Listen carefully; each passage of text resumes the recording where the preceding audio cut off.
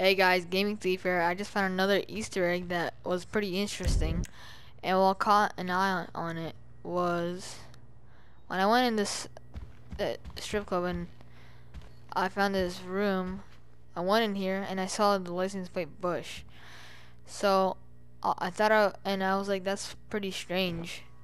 And so I, it, I saw the hundred dollar bill and I was like, that could have been George Bush. Anyway, so so yeah, hundred dollar bills right here.